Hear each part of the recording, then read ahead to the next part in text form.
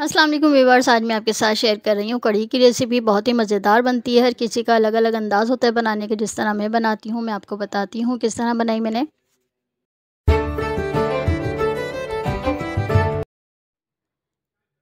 एक गिलास बेसन, एक दरमियाने साइज़ की प्याज, बारह पंद्रह जवे लहसुन के। जूसर के जग में प्याज, लहसुन, दही, बेसन, ये चीज़ें शामिल करके अच्छी तरह से इसका हम पेस्ट बना लेंगे। दही मैंने इसमें शामिल किया है, एक पाव पानी है दही का और आधा पाव दही शामिल किया है। इसको अच्छी तरह से ब्लेंड कर लेते हैं।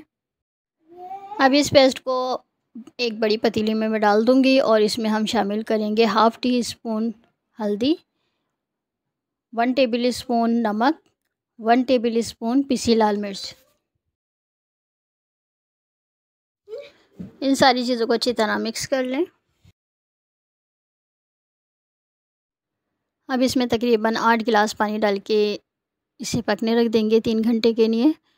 पहले तेज़ आँच पे पकाएँगे, इस तरह से उबाला आ जाएगा तो फिर इसकी आँच हल्की करके तीन घंटे के लिए पकने के लिए रख देंगे। पकौड़ों के लिए बेसन लिया है डेढ़ गिलास, वन टीस्पून इसमें सफ़ेद ज़ीरा डाला है। नमक डाला है one teaspoon, quarter teaspoon इसमें डालेंगे खाने का सोडा या बेकिंग पाउडर डाल लें वन टीस्पून पिसी लाल मिर्च पानी के साथ बेसन को घोल लें। तीन घंटे बाद कड़ी अच्छी तरह पक चुकी है। अब हम इसमें पकोड़े बना के डालेंगे। पकोड़ों के बेसन में अब मैं डाल रही हूँ दो दरमियानी साइज़ की प्याज चॉप करके, हरा धनिया और हरी मिर्ची। ये चीज़ें बेसन में डाल के अच्छी तरह मिक्स कर लेंगे और पकोड़े तैयार कर लेंगे। कड़ी में कड़ी पत्ता ज़रूर डाला करें, इसकी बहुत अच्छी खुशबू आती है और ये घर का कड़ी पत्ता है, बहुत ही मज़ेदार। अब ये मैंने कड़ी में डाल दिया और साथ ही चार पाँच मोटी हरी मिर्चें डाल दी, इससे खुशबू अच्छी आती है। पकोड़े तेल में फ्राई हो रहे हैं और हम पकोड़े फ्राई करने के बाद तेल से निकाल के डायरेक्ट ही कड़ी में डाल देंगे। कड़ी हल्की आँच पे पक रही है।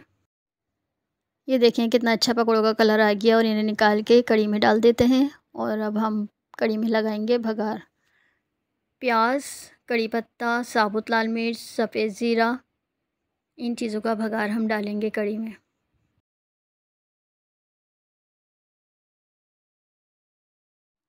बस पकोड़े डालने के बाद इस टाइम पर हमारी कड़ी तैयार है, बस इसमें भगार डालेंगे और कड़ी इंजॉय करेंगे। ये सूखा कड़ी पत्ता है। भगार के लिए मैं सूखा कड़ी पत्ता ले रही हूँ। फ्रेश भी ले सकते हैं। ये देखें कितनी मज़ेदार कड़ी हमारी तैयार हो गई है। इसे पराठे या चावल के साथ एंजॉय करें। बहुत ही मज़ेदार बनती है। ज़रूर बनाइएगा, इस पर हरा धनिया डालें और सर्व करें मज़ेदार कड़ी मिलते हैं फिर किसी नई वीडियो के साथ। अपना बहुत ख्याल रखिएगा। अल्लाह हाफिज़, अल्लाह निगेबान।